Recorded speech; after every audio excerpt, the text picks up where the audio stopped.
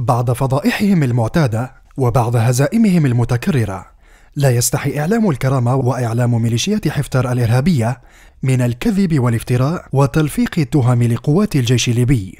قنوات الدجل تقص مقطع فيديو لمقاتلين في سوريا وتقول إن في طرابلس مقاتلين سوريين ولكن تأبى الحقيقة إلا أن تنكشف. فالمقطع كان في سوريا في عام 2016 وها هو المكان والزمان. 22 5 2013 اقتحام معسكر الشبيبي. الله أكبر. وقد نفى المكتب الإعلامي لرئيس المجلس الرئاسي هذه الأخبار الزائفة. في بيان له مؤكدا أنه سيتم ملاحقة هذه القنوات الفضائية وكل من يساهم في نشر هذه الأكاذيب التي تعد محاولة يائسة لتشويه ما يحققه الجيش الليبي. والقوات المساندة له من انتصارات على المعتدي. بعد كشفهم واعتراف الكثير أن في صفوف ميليشيات حفتر مرتزقة روس.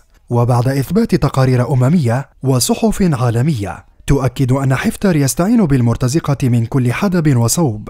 في هجومه الإرهابي على عاصمة الأمن والسلام عروس البحر طرابلس.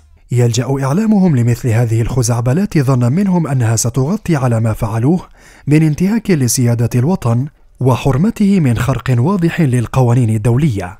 ومنذ يومين قام الإعلام الحربي التابع لعملية بركان الغضب بنشر مقطع فيديو لأسرى من ميليشيات حفتر كان قد ألقي عليهم القبض بمحاور القتال جنوب العاصمة طرابلس. يعترفون فيه بأنه قد غرر بهم وأنهم لا يقاتلون إلا قوات الجيش الليبي التابعة لحكومة الوفاق الوطني.